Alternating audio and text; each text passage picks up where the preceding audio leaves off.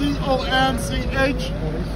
This here is one of our main products from these islands which we export. This here is a male conch. This here is a female conch. Male conch, female conch. now, to every one male, there is a thousand females. Oh, wow. Every one male, there is a thousand females.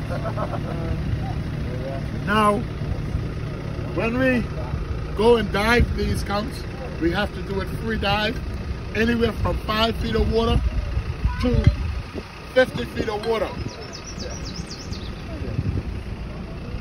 Now, once we're cleaning these conchs, in order for us to get the conch out of the shell, we would have to put a hole in it like that, knock it, then stick it with a knife so we can pull the conch out.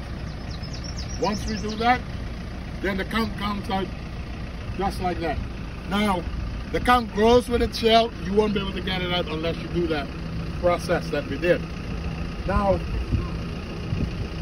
on cleaning these conchs, we would find sometimes conch pearls on cleaning them. They can, I mean, on average, we would find anywhere between, on as money wise, you find worth about anywhere from 2,000 to about 10,000. But I know of a guy who found one pearl and he got 50,000 just through a Middle Agent. Wow. now, how many of you guys watch Forrest Gump? Yeah, I've seen Forrest Now remember when Bubba said what they can do with the shrimp? Uh-huh. The same thing we can do here with the conch. Conch. Uh, But here in these islands, we prefer to make conch fritters,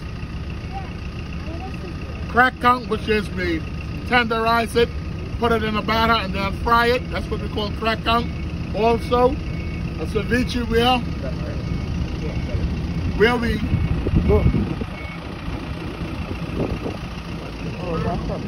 Yeah, it's one out of the shell. where we cut the raw conch up. and we make the conch Oh, it looks like a lizard. Vinegar, lime,